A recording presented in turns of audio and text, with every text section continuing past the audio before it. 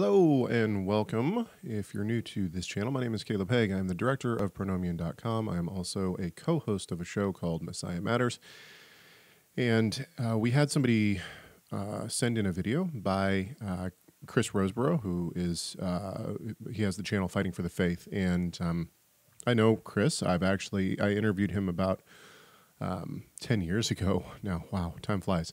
So I interviewed him about 10 years ago when he uh, had done a debate. And uh, uh, Chris, I believe, is doing some great work in certain areas. Uh, he basically calls out heretics, charlatans, whatever. And uh, shows why, biblically, why they're wrong. Okay, so then why would I be uh, looking at anything from Chris? Well, first of all, this video, I think, I'm I've I've watched this video. It's it's quite long, and I don't think we're going to watch the whole thing. But um, I, am not sure exactly if if uh, Chris is just uh, misunderstood or if he's taking a different approach completely. I, I don't actually know. But his video is about the festival of Rosh Hashanah. And if you don't know what it is, he's going to explain. He's going to explain what the festival is. Uh, Rosh Hashanah just means head of the year, and it is the Jewish New Year. It's one of the Jewish New Years, and we're going to talk about that here in a few minutes. Okay, so um, as I said, this is Chris Rosebrough fighting for the faith. Um, and I actually do plan on sending this to Chris, not that I think he'll actually watch it or respond to it or, or interact with it at all, but uh, I will send this to Chris once I'm done uh, recording it. Okay, so with that, all of that said, let's jump into this video. Let's take a look.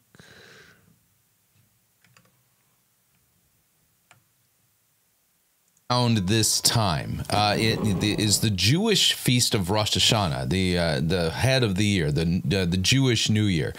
And I've noticed over the past decade that there are a growing number of people who think that this is a biblical feast, and it's not. And uh, and then people in the NAR and the charismatic and Pentecostal movements use uh, the occasion of Rosh Hashanah to then give their New Year's prophecies. And we're going to show that this is not a biblical practice at all. Let's stop for just a second here. I, so, uh, two things. N- number one, uh, Mr. Rosebrough here is actually right. Rosh Hashanah itself, the term Rosh Hashanah and how uh, the Jews celebrate Rosh Hashanah, in my opinion, is not necessarily uh, biblical. And so, in, in, that respect, he's right, and he's going to get into what he means by that. Um, but certainly, the uh, the idea of giving New Year's prophecies. Uh, Chris nails it on this. I mean, he is absolutely right on on um, the people who are trying to give new prophecies and yearly prophecies and all these kind of things. And he's going to get into this and, and he's going to show you just how backwards some of this stuff is. Um, but along with that, I think there is a misunderstanding a little bit of uh, the of Rosh Hashanah which is also titled Yom Teruah. And so, if you don't know what Yom Teruah is, Yom, Yom means day, Teruah means uh, a lot of people translate it trumpets, but it's actually, and that's how it's translated in the Bible uh, in certain places. Uh, for instance, Leviticus 23. However, teruah just means like uh, making sound, like a, a, a great sound, a, a large sound. Um, so Yom Teruah would be like the day of great sounding or great noise. I know that sounds weird. Let's keep going with Mr. Rosebrough here. Like, not even close. In fact, I'll say it up front. Uh, if you know people who are giving prophecies for Rosh Hashanah, um, they're not actually giving prophecies, they're engaging in fortune telling. Totally agree. He's right on this 100%. Preach it, brother. Yeah, I'll give you an example uh, as we move along here today. So let's uh, let's do this. Let's whirl up the desktop. Isn't this interesting? It's a video commenting on a video commenting on another video. The, the layers here are intense and uh, we're going to head over to the 10:30 a.m. Um, service, uh, church service at Shiloh Fellowship in Arizona, run by Patricia King, and this was streamed live on September 18th. And the name of it is Hebrew Calendar and uh, Year 5783. You're going to learn a little bit of Hebrew along the way, by the way, and uh, we'll we'll see what she has to say. This is the setup, and by the way. It, this is not something limited only to Patricia King. I'm only using her as an example. So if you are, are seeing in your Facebook feed or your social media feeds people who are talking about the Jewish New Year and uh, and it's several years from now, it, it'll be five, seven, eight, seven, or you know something like this. This all still applies. We're going to definitively show that this is not a biblical feast, and these people, when they try to interpret the the Hebrew meaning of that particular year, they're actually engaging in fortune telling. So. Okay, so I totally agree with Chris on this so far, Mr. Rosebrough. Um, and not only that, but uh, he doesn't even mention this. I don't know who Patricia King is. However, any congregation where a woman is the pastor or the teaching pastor or is be in the pulpit preaching, I I mean I say run anyway. So that, that's uh, in my opinion it's not a biblical concept and this is something that Mr. Rosebrough has not touched on. Now I don't know if Mr. Rosebrough is egalitarian or not.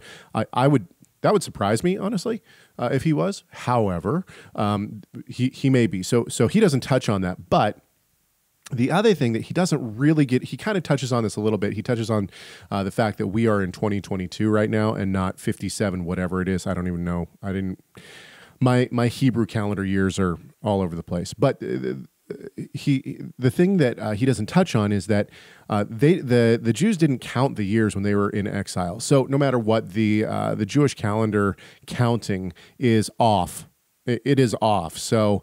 Um, any prophecy that they're making, I mean, there's just so many problems with this, but he's right on all of this so far. Here we go.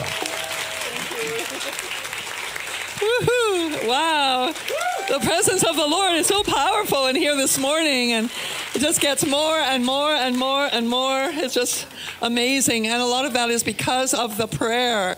And if you haven't been out to the prayer meetings, I tell you, they're their own revival meetings.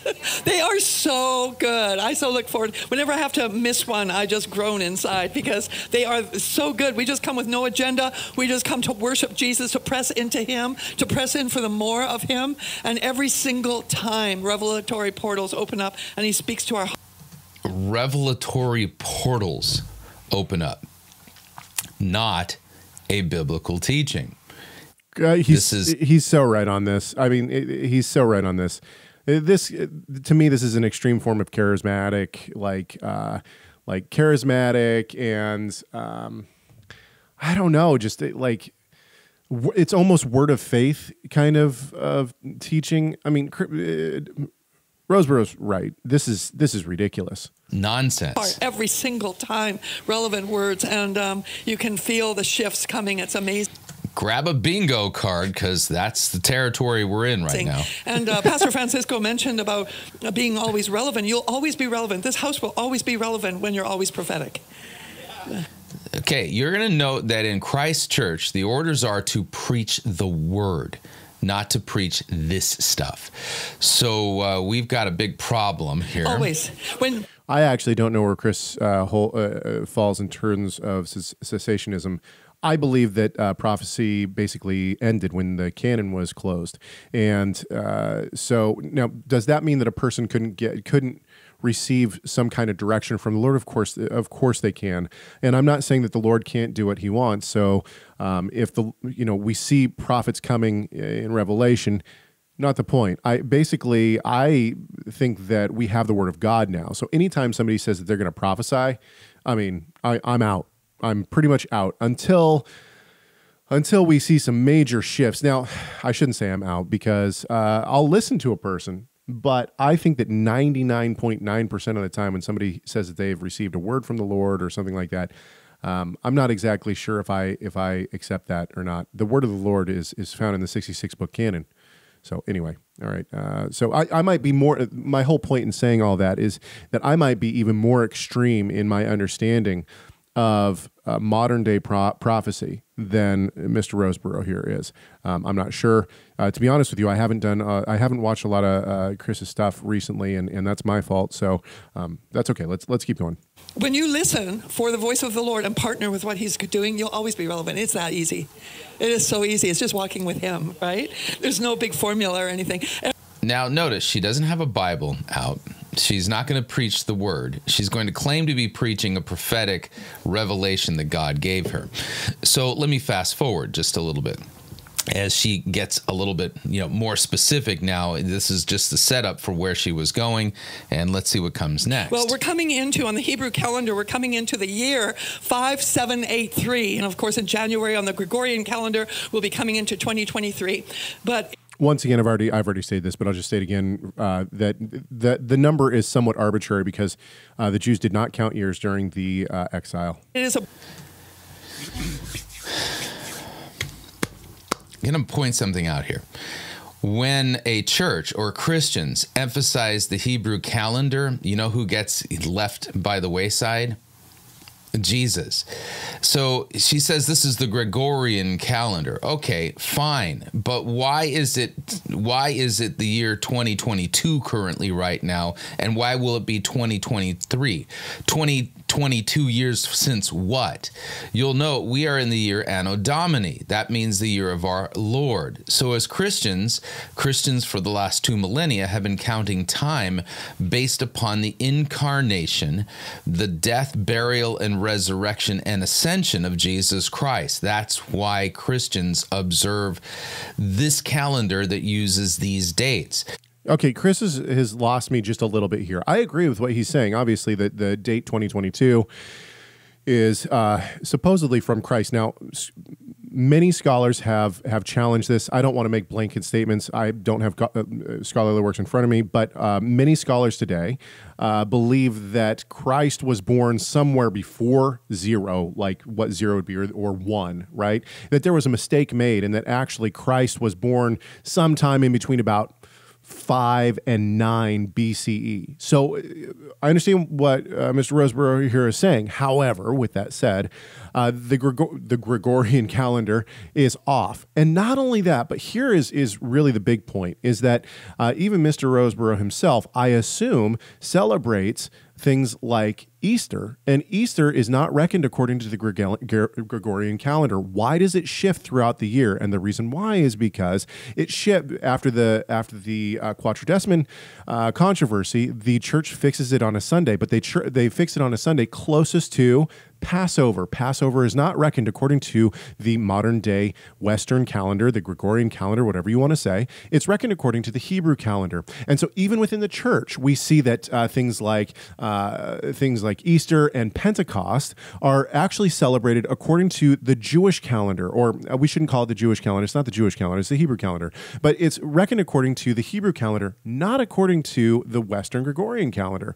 And so uh, there's there's a little bit of a disconnect here, I think. I agree with what he's saying. We reckon things according to 2022 because that's essentially when Christ was born, give or take 10 years, right? Well, anyway. Um, but, but the point here is that no, even the church recognizes that there is some uh, benefit to the calendar that we find within the Old Testament, within the Tanakh. Uh, and the reason why is because God does set certain times, and He does that according to a calendar that is based on the moon. Now, I mean, we could get into a whole calendar debate here, but but ultimately, it's based on the moon and the sun, and there are actually uh, leap years within that calendar, and so on and so forth. I believe personally, I believe that this is one of the things that the Jews were actually supposed to do is to maintain not the covenants, right? To bring the covenants to the uh, to to the nations, and that includes the calendar. And so when the Jews are celebrating Passover, okay, well, then what do the Christians do? The Christians see Nisan 14 and they start to then uh, reckon the closest Sunday to Nisan 14. Interestingly, because of the Quartodeciman controversy, if Nisan 14 falls on a Sunday, they actually move it to the next week that's a whole nother uh, discussion for a whole nother time. Not the point. The, but my point here is that uh, Mr. Rosebrough, I think, has lost us a little bit in the fact that the the Hebrew calendar is still relevant even to the church. So people who are, you know, they, who are claiming, well, we need to get back to that Hebrew calendar. Well, I'm going to point out that they're actually not and I'll prove it to you biblically. Brand new year in a decade that um, presented us a new era. So it's a very, very strategic time that we are living in. As you notice in 2020, everything shifted. And so we're, we're now inside of this decade of the Pei, which is the mouth. I won't. I mean, I'm responding to Chris, but this lady is just, I mean, uh, what? What, what did everything change? Why did everything change in 2020? Was that because of the pandemic? Is that what she said? I don't know. Anyway, this this kind of stuff just annoys the living daylights out of me. Go too much into Pei is a, a Hebrew letter. uh, now, but this year coming up is 5783. And in Second Chronicles 2020, it says that, that if we trust the Lord, we will succeed. And if we believe his prophets, we will prosper. And Okay, taken out of context. Okay, does uh, Second Chronicles twenty twenty teach us that we need to hear from prophets? Okay, I uh, he's going to Mr. Rosebrough now is going to uh, show how this teacher, this this woman, has totally taken uh, that passage out of context. He's completely right on that. He is, and uh, he's going to basically dismantle um, the notion that uh, this is talking about listening to her. Uh, as a prophet. So I'm just going to fast forward here a little bit and I want to see, he's still talking about Chronicles. So he reads this whole thing. Okay. And uh, let's see where we're at. You will succeed. And when he had taken counsel with the people, he appointed those who were to sing to Yahweh and praise him in holy attire as they went before the army and say, Give thanks to Yahweh, for his steadfast love endures forever. And when they began to Okay, so he's still talking about this uh, Corinthians passage, which she has totally, or uh, Chronicles passage rather, where uh, that she is totally mutilated, right? And uh, he's showing why this just proves that she is a false prophet, is because she is misinterpreting scriptures uh, to her benefit, to, so that people will listen to her. the king because she is twisted Second Chronicles chapter 20 He's right. uh, verse 22, Yep. right? Yep. She's already twisted the scripture. So here, here trust the Lord. we. Uh, sorry, verse 20. And in Second Chronicles 2020, it says that, that if we trust the Lord, we will succeed. And if we believe his prophets, we will prosper. And Note how she absolutely twisted this text. Proof she's a false Proof she's a false prophet. I completely agree. part. And this is where kind of the rubber will hit the road. Anyways, back to the year 5783 in the Hebrew calendar. Next Sunday, Sunday, uh, September 25th at sundown, until Tuesday, September 27th at sundown, we will be um, celebrating Rosh Hashanah, or the feast What's really interesting about this, and this is something that uh, Mr. Rosebrough does not catch, is that she actually is uh, adding the rabbinical extra day of Rosh Hashanah, which was uh, Tuesday. Um, so uh, it's it's really a I mean, and she probably doesn't understand that, but she doesn't understand that this is an added day, or maybe she does, and she just is following the rabbis. I don't know, but the the point here is that. Um, from a biblical perspective, there is no second day of Rosh Hashanah. So she says that it starts on Sunday night at sundown and it ends on Tuesday night at sundown. That's twofold. That's 48 hours. Rosh Hashanah was not Yom Teruah, what, however you want to call it, was not 48 hours. It's 24 hours. It starts. It started on. I'm recording this on uh, September 29th. It started on Sunday night and went until sundown on Monday.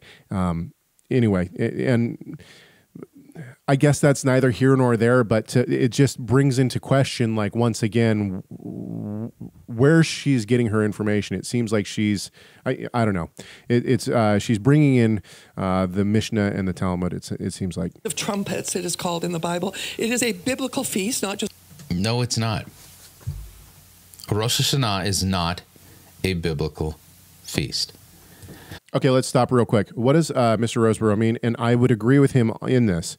He's going to explain that Rosh that that Yom Teruah is not actually Rosh Hashanah, and I would agree with that. Uh, t- in some respects, but I'm going to show you why I also disagree with it. So, um, what I mean by I dis- uh, by uh, I agree with that is that Yom Teruah, the day Yom Teruah, is never referred to in the scriptures as Rosh Hashanah. He's right about that. And so when she says uh, Rosh Hashanah is a biblical festival, uh, he's saying no, it's not. What he's what I hear him meaning by that is no, Rosh the the festival of Rosh Hashanah is never found in the scriptures. And in that respect, in the idea of Yom Teruah being called Rosh Hashanah, uh, it's not called Rosh Hashanah in the scriptures. But he goes a little too far here. Let's watch. I'll prove it in a minute, but let's kind of get a little bit more context from her. I'll back this up just a little Rosh bit. Or the Feast of Trumpets, it is called in the Bible. It is a biblical feast, not just a Jewish feast. It is a biblical feast, and we enjoy celebrating God this year. And it's a time when the Lord has called for. Um, blowing the uh, shofar, actually, it starts with that, and calling people to repent total side note. Does it though? Uh, I don't think that anywhere in any of the texts it, it refers to a shofar. It just refers to it is a day of, of blowing trumpets. And actually, the Septuagint, uh, the Greek translation of the Bible, actually refers to this not as a shofar, but as blowing trumpets.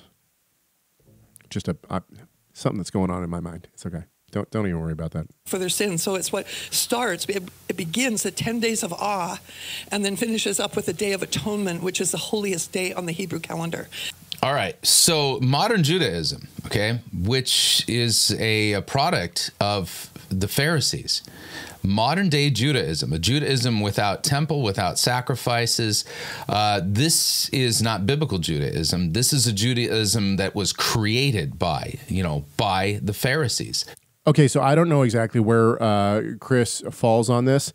However, I agree with exactly what he's saying here. What we see in modern day Judaism is not what Jesus was celebrating or what J- Jesus was a part of. It wasn't what Paul or the apostles were a part of.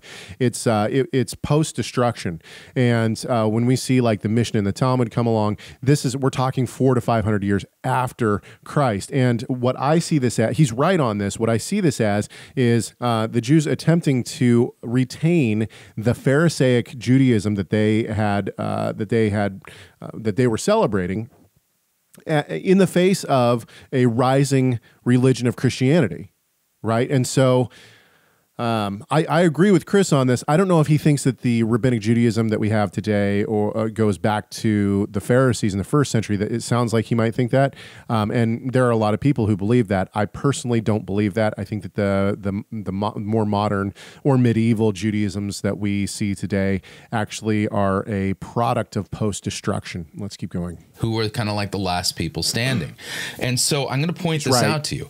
If we go into the book of, uh, let's say, Leviticus 23 talking about the Day of Atonement, since she says the Day of Atonement, mm-hmm. you, know, you know, so uh, Rosh Hashanah, 10 days of awe, and then the Day of Atonement. Mm-hmm. Pay attention to what Leviticus 23 says regarding the Day of Atonement. Yahweh spoke to Moses, saying, Now on the 10th day of the seventh month is the Day of Atonement. Which month? Seventh. Mm-hmm biblically, the Day of Atonement is not at the at at uh, the head of the year. It's not during Rosh Hashanah, not even close. And so already we've got a problem. Now, biblically, when is the beginning of the year? Exodus 12 makes this very clear. Yep. Uh, Yahweh said to Moses and Aaron in the land of Egypt, This month, Nisan, shall be for you the beginning of months. It shall be the first month of the year for you.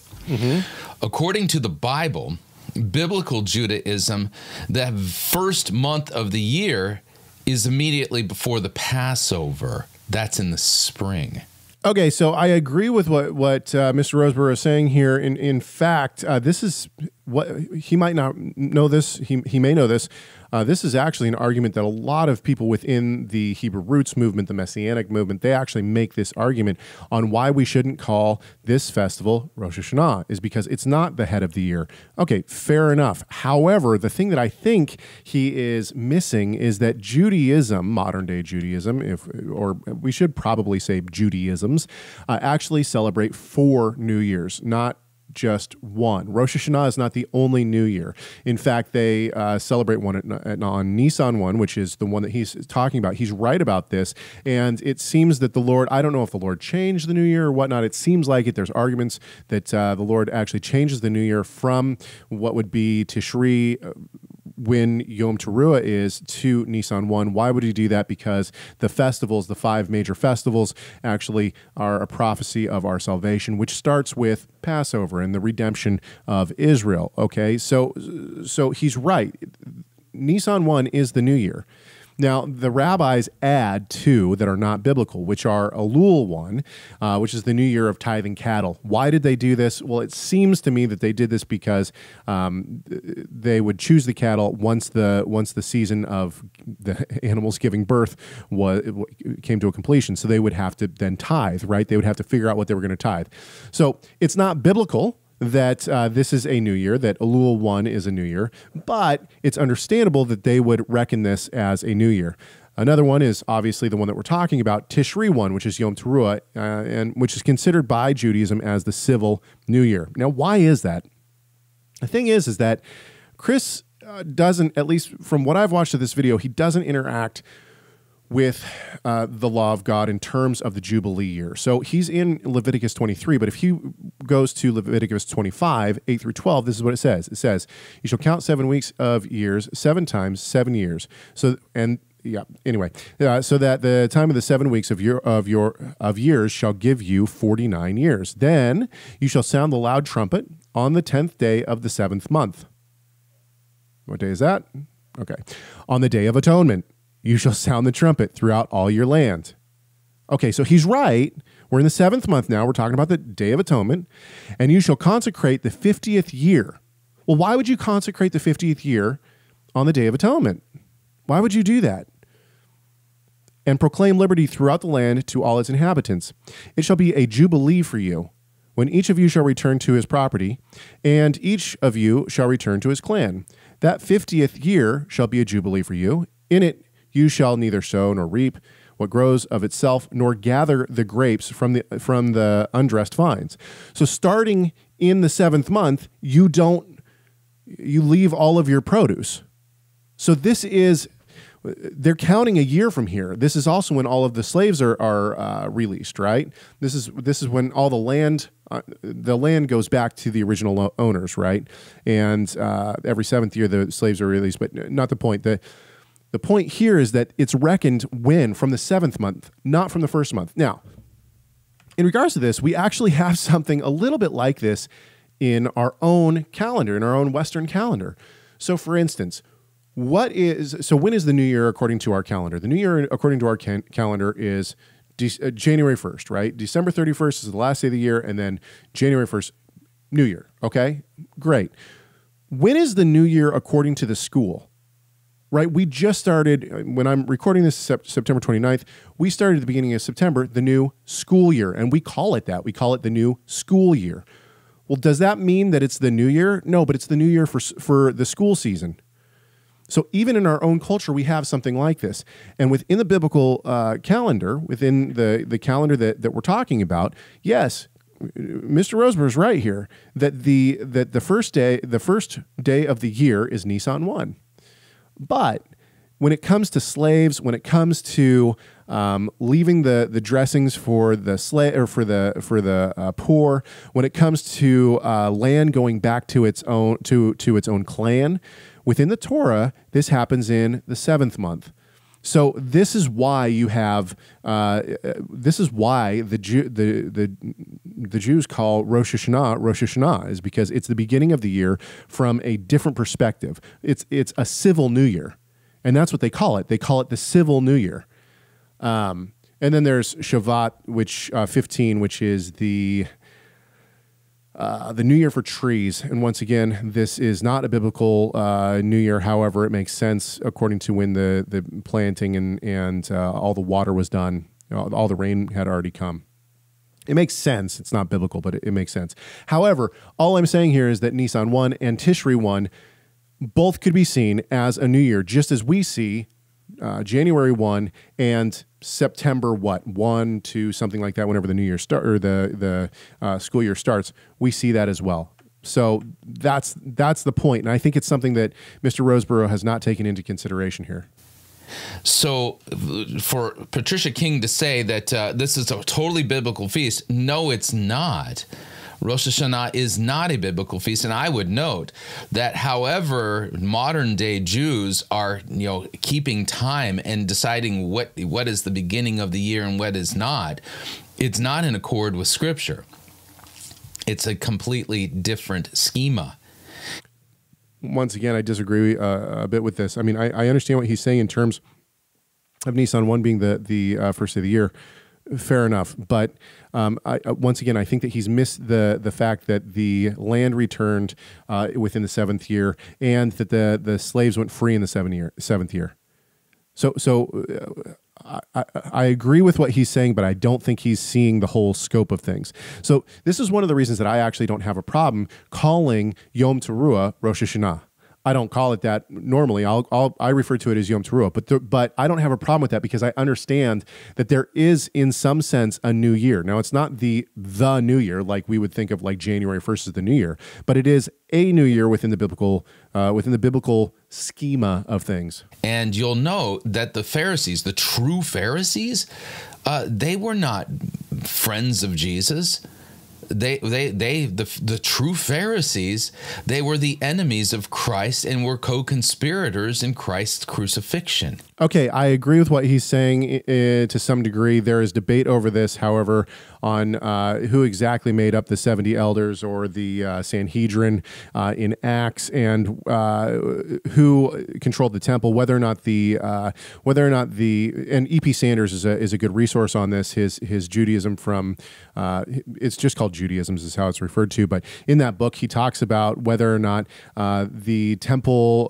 high priests and all those were Sadducees or whether they were Pharisees. We actually see Christ going into Pharisees' homes. So uh, I understand what he's saying. It seems as though that there were Pharisees and scribes that were following Christ around and they were opposing what he was doing. But it also seems that there was some Pharisees who uh, he's friends with, and and uh, it seems as though one of the reasons that the Pharisees are so uh, opposing what he's doing is because he may have, and this is speculation. I, I understand this is speculation. So, but it seems as though he may have leaned towards Pharisaism in terms of the, the practice that he was doing, which is why the Pharisees are so worried about him.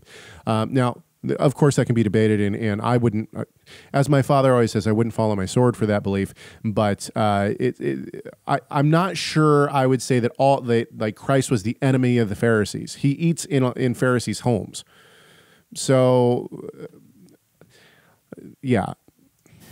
So you're going to know we've got a big, big, big problem here, and that is is that Rosh Hashanah, according to the Bible, if you're going to celebrate the first of the year, you got to go all the way back to uh, the month of Nisan. Agreed. And uh, the time of the Passover, not the Day of Atonement.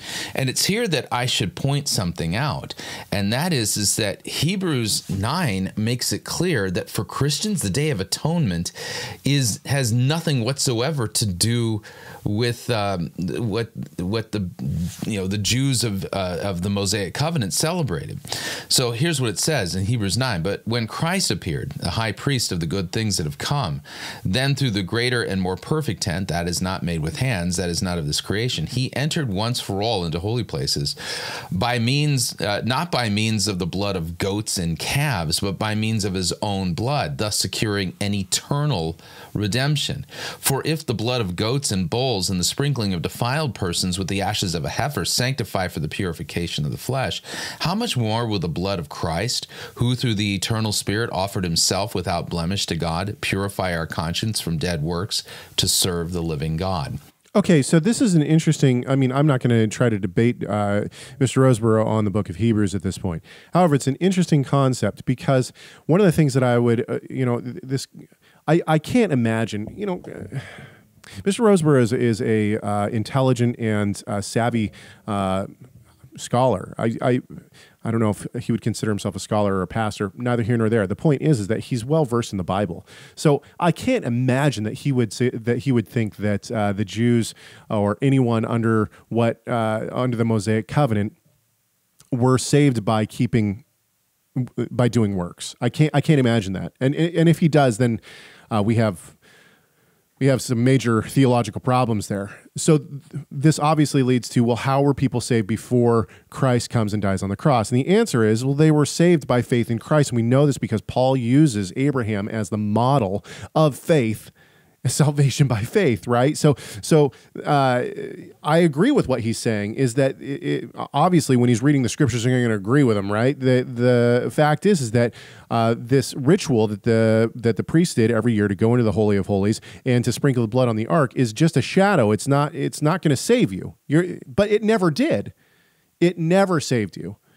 So why why would the you know why would David and why would Moses and why would you know anyone uh, in the you know before Christ comes, why would they celebrate uh, Yom Kippur if it didn't save them? Well, it's because it's a picture of Christ's salvation. And what the writer to Hebrews is talking about is the thing that actually did save them, which is him dying on the cross, taking his blood into the holy of holies of the heavenly of the heavenly realm, and uh, presenting his blood to the Father.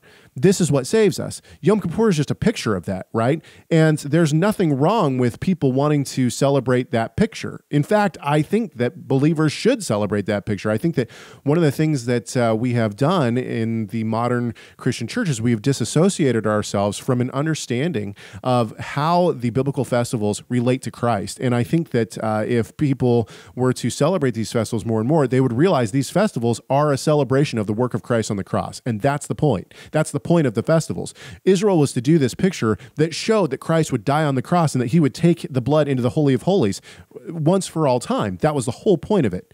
And I think that that's still the point of it. We celebrate the festival of Yom Kippur not because we think it's saving us. And I don't think it ever saved anyone. I don't think that the priest going in now it may it may ha- have ramifications for the nation, okay, um, but it never saved eternal a soul eternally. It wasn't it wasn't meant for that, and it never in uh, it never was, and I don't think it ever will be. You see, Jesus is our sacrifice. Totally agree. For Christians, the Day of Atonement is Good Friday. The- no, that's not right. That's that's incorrect, and the reason why is because Good Friday would be the day that he dies. So this is so for Christians, the Passover is is Good Friday to to to Easter Sunday, right? Uh, in the modern church, the that is what Passover is. Um, now, if he wants to, so but see once again, uh, the biblical festival timeline, it doesn't matter where it is. One of the questions that could be asked to Mr. Rosebrough is this Do you believe that Yeshua or Jesus was the Yom Kippur sacrifice? The, the ultimate Yom Kippur sacrifice? The answer is yes, right? And we see this even in the book of, of Hebrews, right? He, he is associated with that lamb, with that animal that is sacrificed, right? Okay, so the point is is that yes uh, it is a picture of when yeshua or when jesus now uh, ascends into heaven right? But uh, these are uh, the reason that the festivals are split into five festivals is because each one of them highlights a work that christ does on the cross and the work that he and how that work, work affects us. Okay so each one of those five festivals does that. To say no one of them is isn't that for christians I'm sorry, I, I just don't buy that. Day that Christ is crucified on the cross. Uh, yeah, so you know you're going to note that what Patricia King is doing is it just makes no sense. So I agree with him that what Patricia King is doing is makes no sense. We're in total agreement on that one. Um, but I think that there is a, I think that Mr. Rosebrough has missed uh, some of what the some of the beauty of the biblical festivals. I've written on this on pronomian.com and why Christians should care about the festivals. I've showed uh, there's several articles you can go find uh, in the section on biblical festivals. Uh, I've showed why Christians should uh, understand the biblical festivals, and I and I I mean once again, I think that Mr. Rosebrough is probably way smarter than I am when it comes to, to biblical things. But on this specific topic, I think that there has been something missed it makes no sense under the under the new covenant. And so her claim that Rosh Okay, and, and once again we could get into full discussions of what is the new covenant. In Jeremiah 31 31 and following, it says that the Torah will be written on the heart. Well, what does that mean? It means that the Torah will be written on the heart, the law of God will be written on the heart. Does that include the biblical festivals? Yes, it does include the biblical festivals. And so instead of uh, trying to throw those out or change those into all compact into three days, uh, you know, uh, Friday to Sunday during East, the Easter season, this doesn't make any sense. Hashanah is a is a biblical feast. Not true.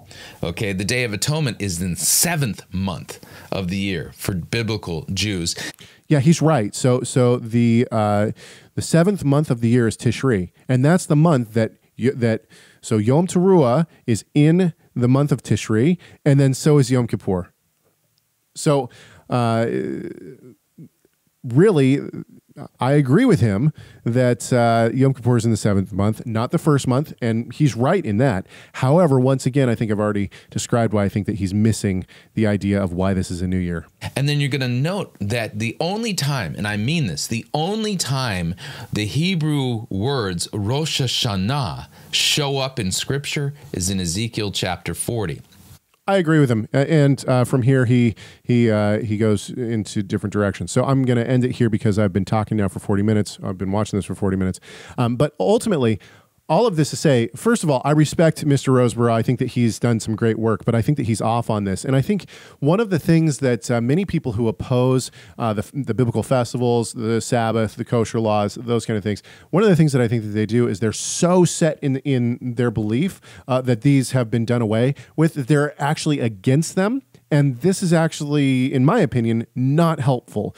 In fact, I think that if we take some scholars such as like uh, Dr. Daniel Block or uh, maybe uh, Dr. Walter Kaiser or uh, others who are, or even even those who believe that, even those who are uh, more on probably Rosebrough's side, like a uh, Darrell Bock or something like that, these guys find a benefit in understanding the biblical festivals and uh, and understanding how these point to Christ. So I think that Chris has, has missed this a little bit. Anyway, I'm going to leave it there. Um, I hope that you've uh, enjoyed this, and I hope that this has cleared some stuff up. If Chris, for some reason, if Chris makes it all the way through this video, and uh, wants to discuss this, I'd be happy to talk to uh, Mr. Rosebrough, uh, even on on uh, Covenant Conversations. I think that that'd be an interesting uh, discussion and one that we could uh, one that we could really have some fun in.